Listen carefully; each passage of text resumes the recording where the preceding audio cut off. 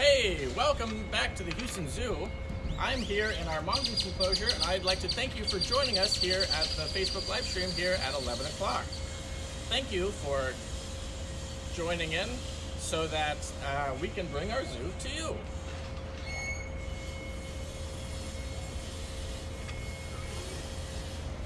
Ugh. Whoosies. Nothing.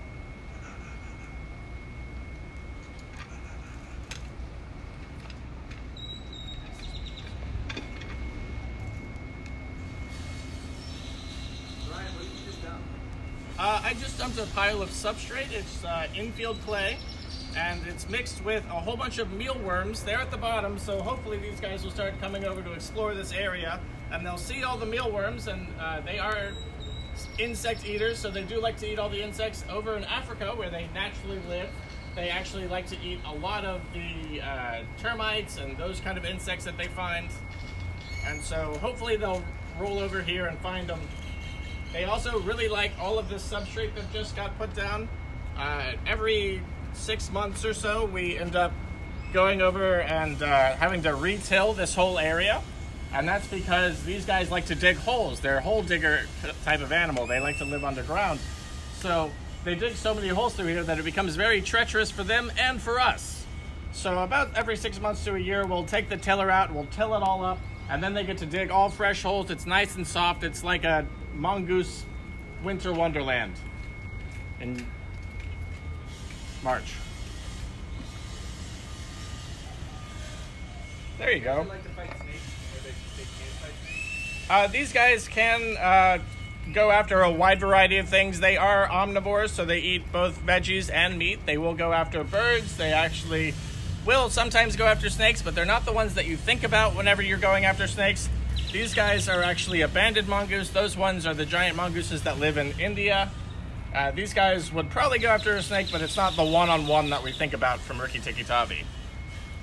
Uh, Amy asks, what sounds do they make? So these guys make a wide variety of sounds. They're mostly chirping sounds, though. They do a lot of like. Apparently, I don't do a very good mongoose sound. It's fine.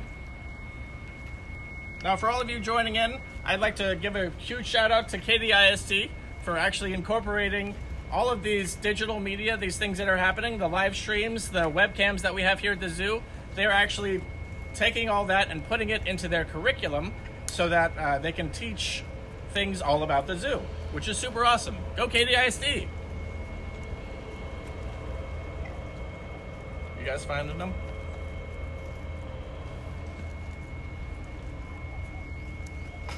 Now these guys are pretty cool. They can live to be about 10 to 12 years old.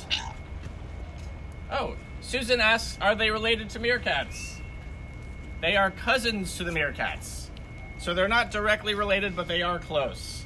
And they are functionally similar, so the meerkats also live in the same kind of area. They, they like to eat bugs, they like to dig holes. They're just a bit different. Hey, Justin asks, what do they eat? These guys are pretty cool. Here at the zoo, they get a mixture of, they get crickets in the mornings, mealworms in the afternoon, they get chicks uh, in the afternoons, and they get mice in the mornings. And then sometimes, if they're lucky, they get eggs, and they get extra things as well. And sometimes if a grackle stays too long, they might have a grackle too. Now there are quite a few of them in here. We have 13 right now. Oh, Riley asks, where do they sleep? That's an excellent question.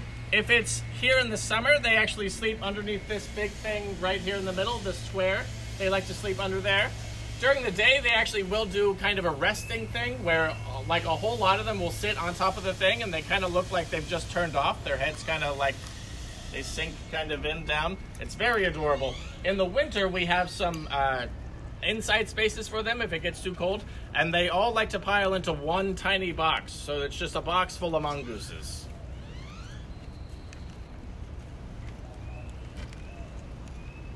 All? And this is something that they do in the wild. They like to chew, uh, dig through all of the substrate. Elise and Claire ask, how many babies can they have? They can have up to five babies at a time. And we have had some babies here at the zoo. Uh, not for a while though. Uh, you can tell them apart from the other ones because the babies are missing their tails. And that's kind of a thing that would happen in the wild too. These guys like to have, they have their own social pecking order. So there's people at the bottom and mongooses at the top. So the mongooses will sometimes kind of squabble with their tails. What, are the, what does their skin feel like from Jessica? Janessa? Sorry. Um, I don't know. I haven't pet them before. They are cute, but they are pretty vicious uh, when they want to be. And I know better than to try to get my hands too close. Their fur is, I would say, similar to that of like a cat or a dog. Or a mink, which is another a weasel that we have here in the States. Nicholas, can they swim? The I don't really know for sure. I'm pretty sure that they can't swim. They're not usually in an area where there is a lot of water. Most of the time they're going to be digging, they're going to be foraging. They can probably make it for a bit. Tara, where do they live in the wild? They live in sub-Saharan Africa. So they're all about uh, kind of the same-ish areas as meerkats. And uh, they like anywhere that has a lot of bugs. Sophie asks, how much do they eat? These guys eat quite a bit. So they, uh, like I said, they get one mouse in the morning, which is about this big, and they get one chick in the afternoon, and then they get uh, mealworms and crickets. And we split up the mice and chicks equally, and then the mealworms and the crickets are kind of free range. As you can see, they kind of just go in and find them as they do.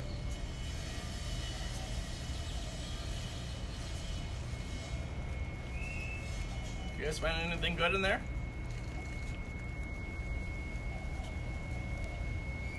Veronica asked, what are the stripes on their back for? So the stripes on their back are for camouflage. It helps them to blend in. They usually move through areas that are just a little bit on the shady side. So the shade uh, mixed with the sun helps them to blend in a little bit better. And when they're all together, it's kind of hard to tell where one mongoose ends and the next one begins. Ashley asked, how fast are they?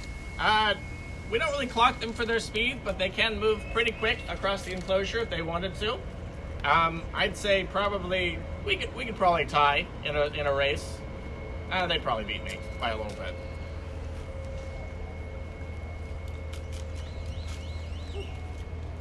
Looks like they're getting into some of the other substrate.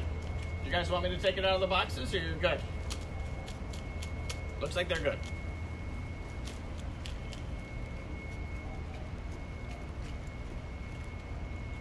What else do I got? How many mongooses does the zoo have? Uh, Marcella asks. We have 13 at the given time. Uh, we have had more in the past, but right now we're at 13. They are all very nice. They get along fairly well. Uh, we don't really have too many incidences here. They're like a good family group. And like I said, in the winter, whenever it's cold, they actually all huddle together like a big mosh pit of mongoose.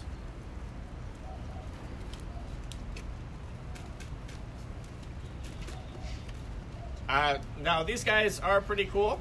Uh, if you want to help them and help other animals here at the zoo, we actually have an emergency zoo fund that you can contribute to during these hard times that we're currently in. Feel free to check out the webpage and you will see more information about that. CC asks, how deep do they dig? They can, they can dig pretty deep. They're not going to dig too much deeper than two or three feet though. They mostly like to dig down and then dig out. They like to have massive burrows all under the ground but they're not very focused on digging down, down, down.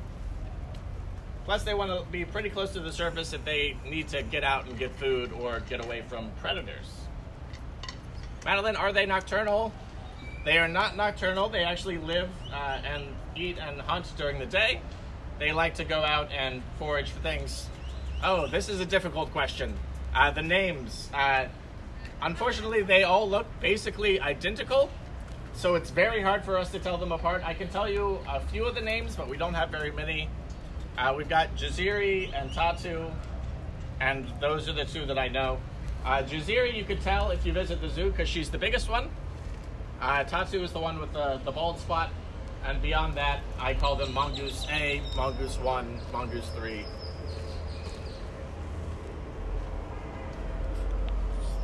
Let's get a close up on this egg guy. What are you doing? Don't be shy, it's fine. No, you're done now.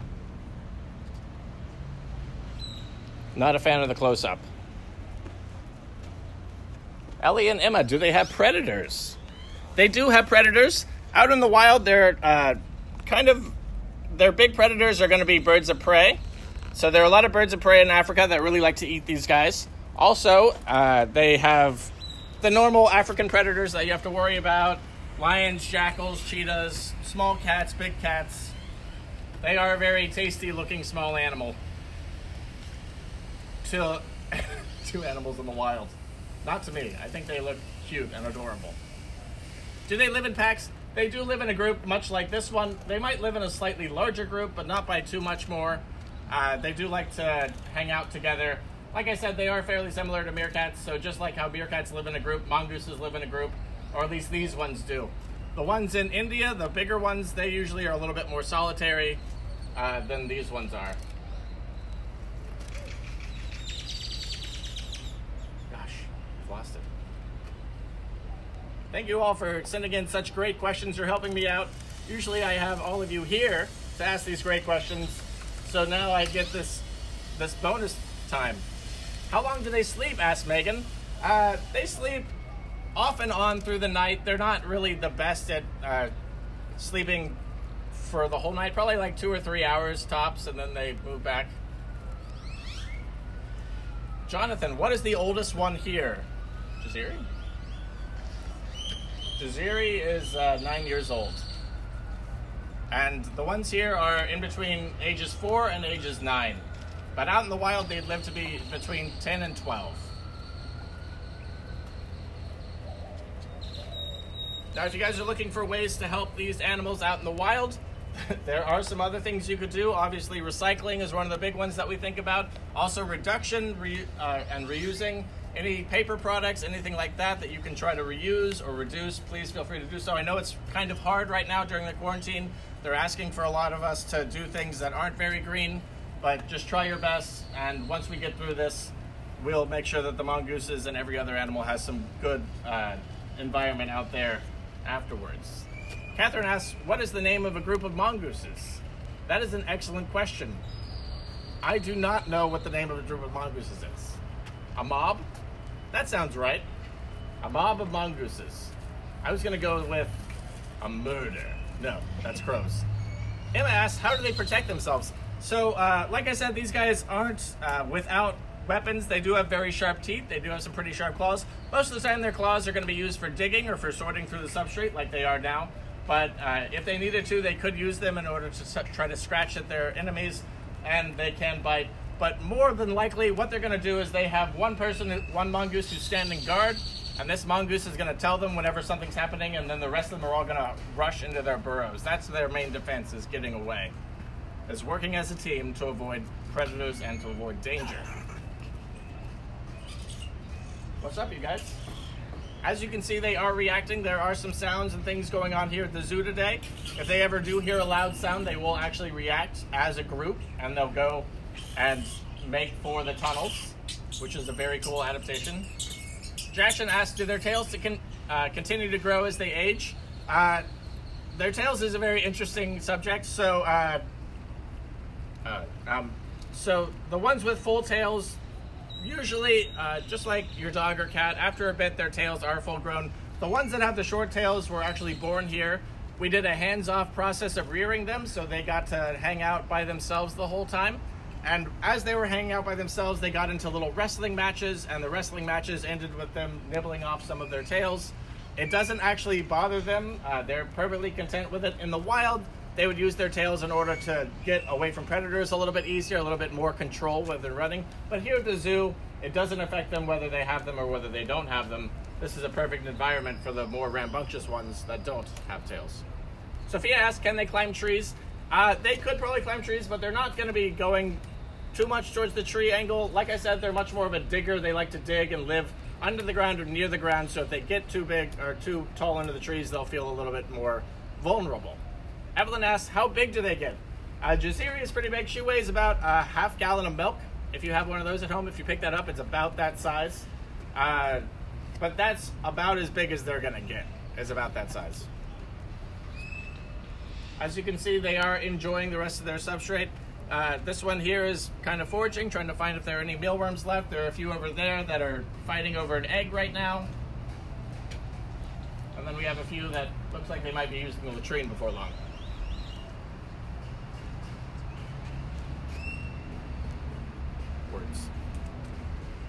Uh, what else about you guys? What are you doing? They are diggers. This one is demonstrating some interesting digging habits. Now this enclosure is pretty cool. It's actually got a lot of built-in tunnels that won't collapse on them. Uh, and they can go throughout all these tunnels and get to that main box there and then out through a whole bunch of different sides. It makes them feel very secure. Heather asks, are they endangered? They are not endangered, uh, so they are pretty plentiful over in Africa. Um, yeah. Is there a leader of the group? asked Brody. Uh, there isn't really a leader. There's a most dominant one, but he's not actually like telling mongooses, you do this, you do this. Uh, Jaziri, the biggest one, is the most dominant. She gets most of the food, but she's not going to be uh, like directing the mongooses to do anything. She's not a very good leader.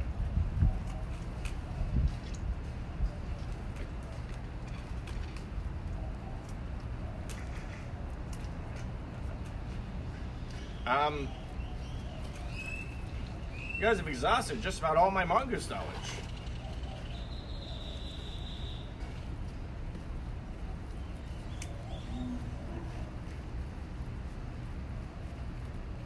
Do they mate for life? They do not mate for life. Uh, they are um, interesting animals. They get together uh, and they make the babies and then they split apart again. Uh, so they're not like they're not a monogamous species. No. Mongoose as pets by Jasmine. No, you don't want a mongoose as a pet. Uh, any of the animals here at the zoo you don't really want as a pet. Most of them are wild animals, which means that even though uh, they are being pretty tame around me, they're not actually tame. Uh, if I were to lay down, if I were to be in some kind of state, they would probably try to eat me, as they would you too if you had them in your house. And as you can see, they're foraging, they're exploring. This is what they do in the wild. They're just trying to find anything that they can eat, anything that they can find, any new spaces. Do they like the cold? Ellie asked do they like the cold. Uh, uh, yes. Well, ish. They like kind of cold. They like it like early January, February temperatures, but whenever it gets down below 40 or so, the only place you're going to find them is inside that box, inside their wintering area, all cuddled together, a big mongoose huddle group. What, you guys don't like that egg? Don't like that egg. Okay.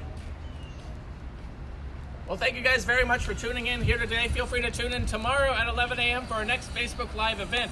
Thank you guys very much, and I'll see you some other time.